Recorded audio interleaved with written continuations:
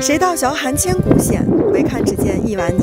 百年前不得志的林则徐在路过嘉峪关关城时，留下了此篇非常著名的诗句。而今天的我们在登上城楼时，已不见了当年的狼烟烽火。大家好，我是中国新闻社的记者高颖，那么就跟着我们一起去推开嘉峪关关城的这扇门，看看发生在这里千年前的故事。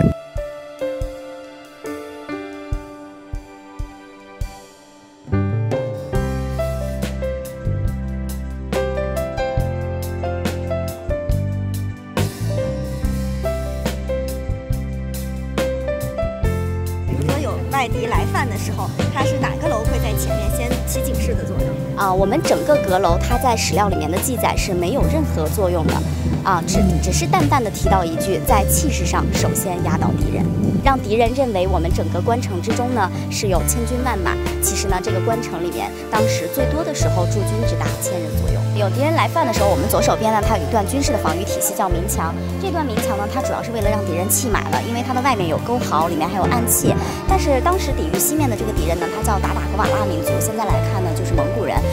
民族呢，他们是骑马打仗的，他们对自己的马匹呢，可能比自己的生命还要重要，所以呢，他们不会在这边放弃自己的马匹，所以呢，他们就会骑着他们的马儿绕骑道而行。结果没有想到呢，在关城的右侧还有一段长城，而那段长城呢，它由于受这个山势的阻挡，敌人从西面进攻的时候就看不到它，所以呢，我们就管那边看不到的那段长城称之为暗壁。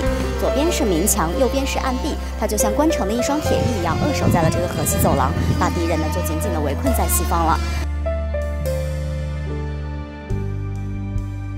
呃，有一个久负盛名的故事叫定城砖。那么顺着我手指的方向呢，您可以看到，在这个门楼的后檐中间放了一块砖，这块砖的名字呢就叫定城之砖。相传呢，有一位技艺精湛的老工匠，他叫易开战，他呢不仅设计出了我们整座关城的完美布局，还精确的计算出修建整座关城需要九十九万九千九百九十九块砖。所以呢，兵部主事豪空，他出于怀疑和嫉妒的心态，就在批砖的时候，给这个易开战悄悄的多给了一块砖。结果没有想到，在整个关城修建完之后，确实就多出了这样的一块砖。而我们深谋远虑的一开战，就把这块砖放在了这个汇集门楼的后檐上。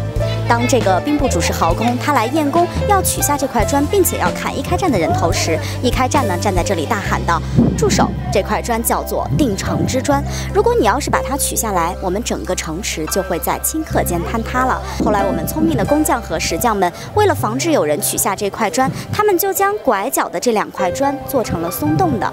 如果这块砖呢，有人想要靠近它的时候，他走在这个拐角处，就一定会失足掉下来。所以呢，这就是我们关城中。啊，非常重要的一个传说叫定城之砖。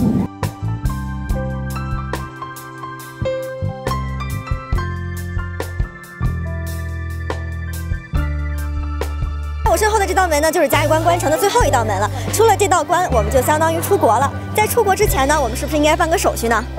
辛丑年六月初五，中国新闻社一行四人登临天下第一雄关嘉峪关，前往西域考察采访，各发此照，一路畅通。谢谢将军合法通关一路平安。多多关照啊。